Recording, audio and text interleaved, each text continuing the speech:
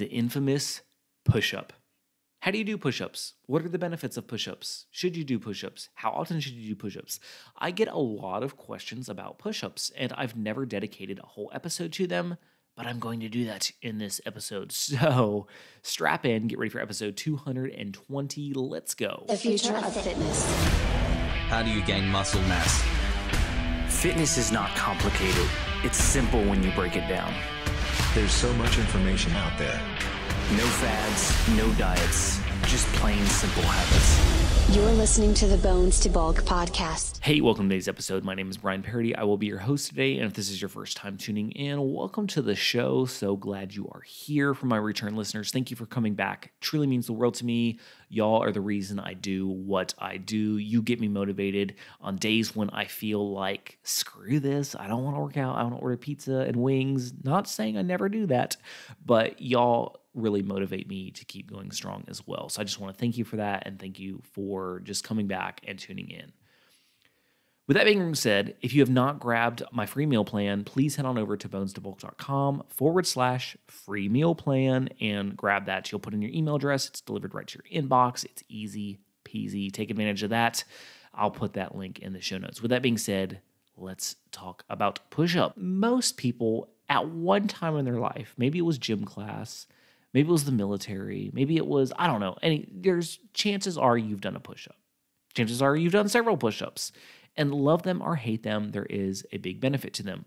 Obviously, you can do them anywhere, so that's a huge benefit. Whether you're traveling, whether you don't have a gym, like whatever, you can always do push ups because you don't need anything except your body. Another advantage to them is they actually are a really good workout. Now, just pumping out a couple push ups isn't probably going to do much for you, but there are ways to increase the difficulty of it and to also kind of target some different muscle group sets. So that's the first thing I want to talk about is what are the different types of push-ups? At least the main types because there are a kabillion different push-ups. So I'm just going to kind of cover some general basics. All push-ups are going to work your chest, your shoulders, and your triceps. That's just the name of the game. However, there are certain types that place more focus on one of those muscle groups. So I just kind of want to preface with that.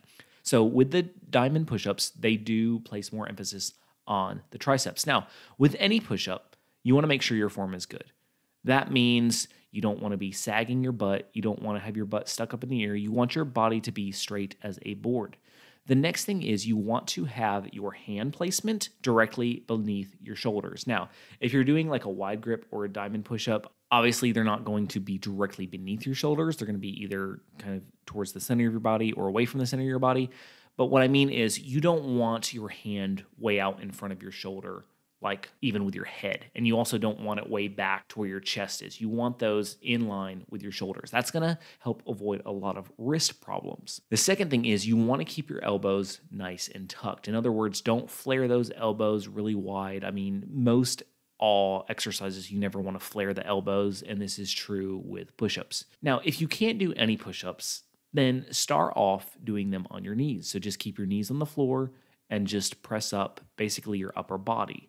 Another way to do it is you can use a counter. You can get at an angle and push up off a counter. And what it's going to do is it's not going to be as much resistance, so you'll be able to do them easier. You can also just use a wall leaning up against a wall and doing push ups against the wall. These are all great ways to start doing them if you struggle with them. And how often should you do them? Well, push ups, it's not like just doing push ups every day. You're going to overwork the muscles because you're not doing like eight or nine exercises where you're breaking the muscle down so much so that it needs time to heal. So don't be afraid of doing them every day. You're not going to hurt anything. And I recommend doing them a couple times a day and setting a timer for two minutes. Now, during this time, you don't have to do push ups for the solid two minutes, but you only want to rest for 10 seconds or less. So, for example, let's say I set a timer for two minutes, and for the first 15 seconds, I do push ups. Then I need to take a break. So I rest for 10 seconds until the 25 second mark then I pump out as many more as I can. So let's say I get to,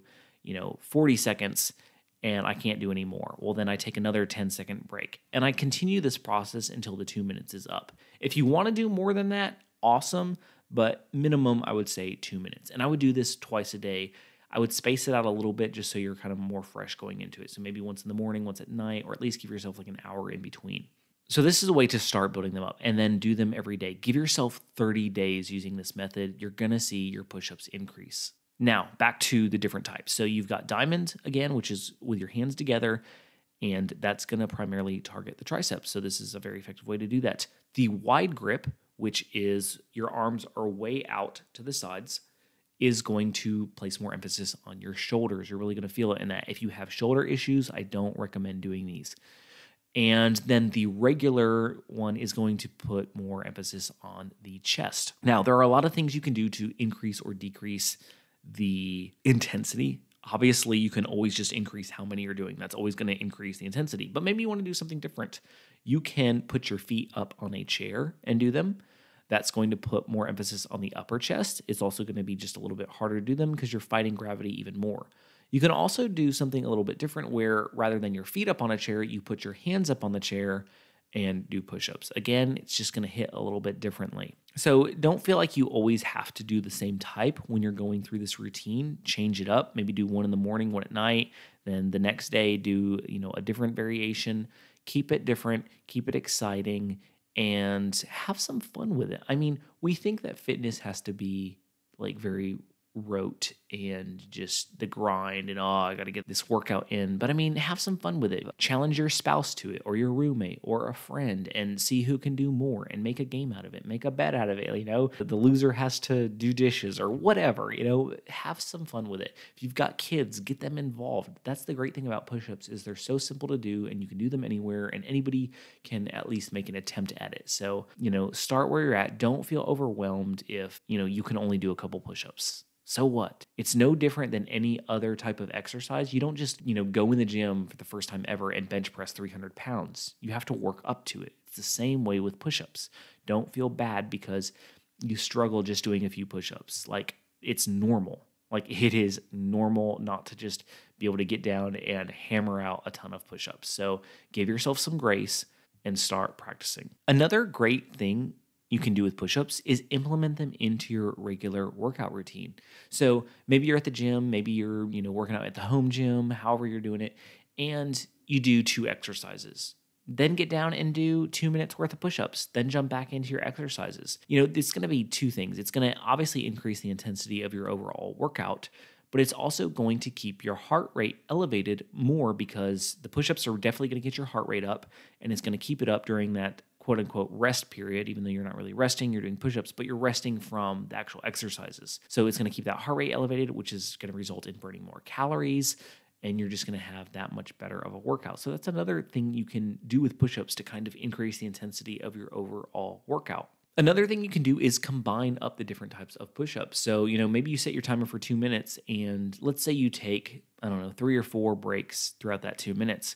Well, each time after you come back from a break, do a different variation. So, you know, maybe you start off doing regular, then you take that 10 second break. Then you do the wide grip, then you take a 10 second break. Then you do the diamond, then you take a 10 second break.